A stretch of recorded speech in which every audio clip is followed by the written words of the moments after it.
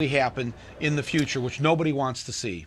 The premise of, uh, or the pretext of the left-wing media exists to uh, mask the kind of right-wing media belligerence. I won't use the term bias, but it's belligerently right-wing.